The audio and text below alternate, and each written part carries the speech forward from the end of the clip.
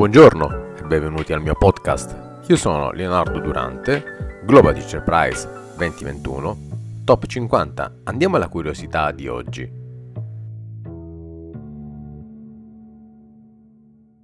Oggi entriamo nella vita di una grande scienziata che ha lasciato un'impronta indelebile nella storia.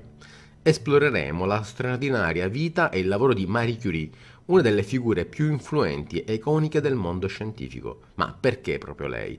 Beh, ascolterete subito e comprenderete il mio entusiasmo. Marie Curie, nata Maria Slokowska, era nata il 7 novembre 1867 a Varsavia, in Polonia.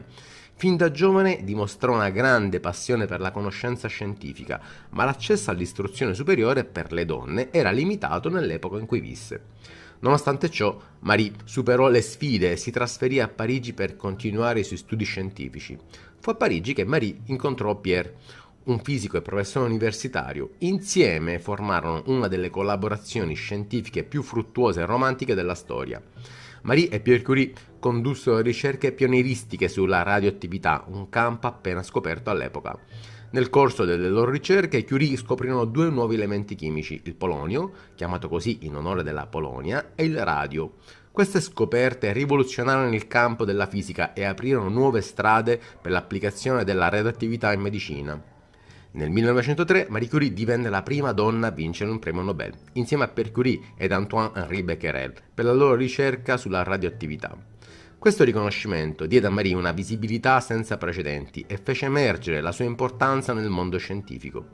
Tragicamente, nel 1906 Pierre Curie morì in un incidente stradale. Tuttavia, Marie continuò a portare avanti il loro lavoro e divenne la prima donna a tenere una cattedra presso l'Università di Parigi.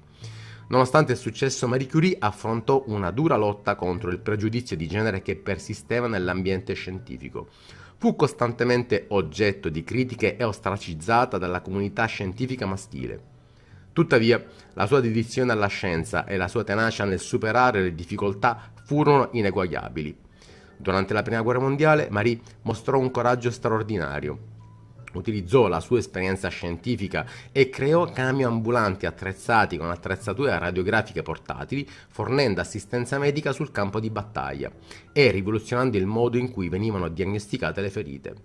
Tuttavia, l'esposizione prolungata alle redazioni durante la sua ricerca scientifica ebbe conseguenze tragiche per la salute di Marie. Affrontò problemi di salute legati alla redazione e alla fine morì il 4 luglio 1934. Il lascito di Marie è immenso. La sua ricerca sulla radioattività ha gettato le basi per lo sviluppo di nuove terapie contro il cancro e la diagnosi medica moderna. Ha aperto la strada a generazioni di donne scienziate e ha dimostrato che la passione e la determinazione possono superare qualsiasi ostacolo. Questo è oggi, ma spero che siate rimasti affascinati dalla vita e dalle incredibili realizzazioni di Marie Curie. Spero sia stato anche da sprone per le future scienziate. Purtroppo ancora oggi alcuni stereotipi però sono duri a morire.